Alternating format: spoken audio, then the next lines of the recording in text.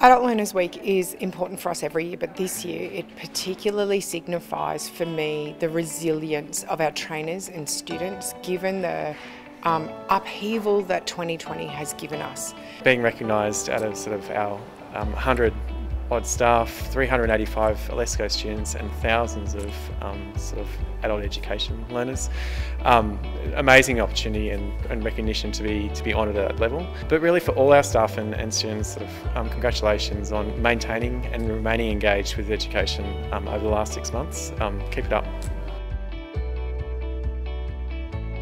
We've always prided ourselves on engaging with students, connecting with students, and in a very short period of time, we had to develop ways to engage and connect students in a different format, largely online, by phone, through Zoom, in Canvas as a learning platform. All of our trainers stepped up and said, you show me how and I'll make it happen. They've gone through a phenomenal change with the way their sort of learning is happening, um, the way they've sort of had to engage with sort of online platforms.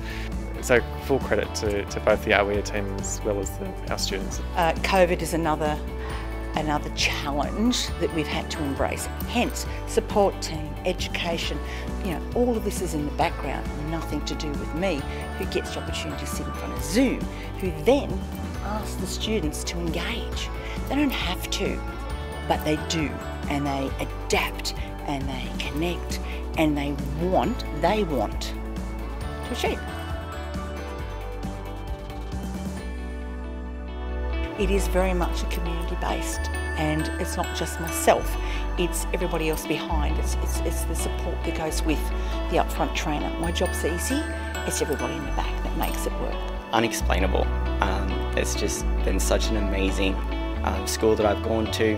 Um, you know, getting away from some pretty bad stuff at mainstream, um, and just being able to to enjoy coming to school as well, and um, and just come to such a great place. It's it's really good.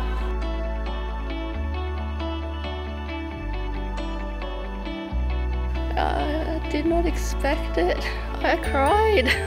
I did. I just wasn't expecting it. I'm like, oh my god. But when Emma sent me the email, I sent her one back home. Is this real? Oh, I just felt so grateful. Um, so grateful for everybody uh, in my life who was, who was supporting me um, into getting here. Um, I really couldn't have done it without, without all of my friends and family and, and Alesco.